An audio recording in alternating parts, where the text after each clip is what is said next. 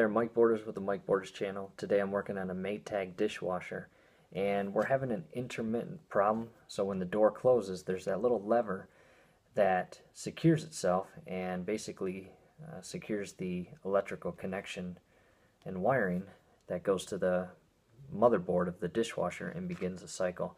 Unfortunately, uh, ours is working but not working. So what I want to show you is we went out and bought the new part, okay, and I went to Sears.com. Now, your dishwasher could be different. This is the lever. Okay, this is kind of this is the internal portion of the of the lever. So this is on the back side of the uh, door. So when you open up the dishwasher door, there's that plastic panel that covers all the wiring and insulation of it, and it's behind there. However, what I want to show you is these little connection points right here. Okay, they look like that, but they go inside those little grooves.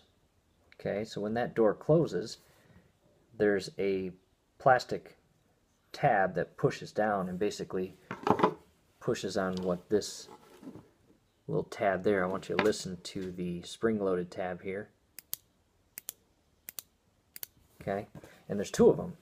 All right, so when again when that door closes, that plastic lever pushes down on these spring-loaded tabs, and that secures the electrical connection. The problem that we're having is on ours, one of these works perfect. It is very spring-loaded and strong. The other one is very weak.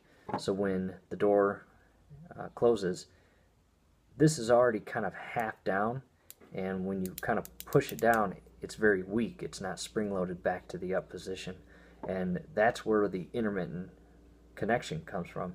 Again, it works sometimes and sometimes it doesn't. So you kind of have to finagle the door a little bit to get these connection points where they need to be in order to work.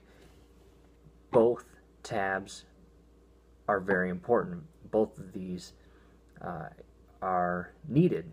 Like I said, ours is weak, and that's where we get the lack of connection. So I'm going to make a video on how to do a step-by-step -step on how to change out these electrical little black box connection points as well as this okay and what I'll do is I'll link it down at the bottom of the video so I hope it helps. Like the video subscribe to the channel and keep watching. Thanks